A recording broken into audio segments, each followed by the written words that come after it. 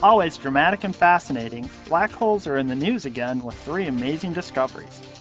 NASA researchers have caught masses of hot iron gas speeding around a black hole at a whopping 20,000 miles per second.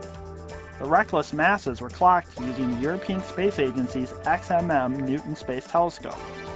This is the first time scientists have pierced through the bright X-ray light of a black hole and tracked orbiting objects.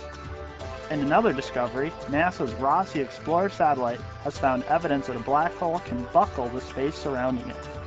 While observing the hole near the constellation Aquila, researchers detected a repeating spike in X-ray light near the object.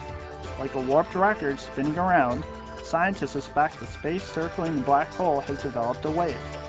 As the wave passed through a glowing cloud of iron gas, the light from the gas was energized and seen by the Rossi Explorer. And finally, NASA's Chandra X-ray Observatory has recorded the most powerful explosion ever detected from a black hole. The eruption appears to have lasted more than 100 million years. Chandra scientists believe the blast is triggered by large amounts of matter ingested into a hole with an enormous appetite. The hole expelled twin jets of particles that tore through its enveloping gas cloud, creating cavities millions of light years across.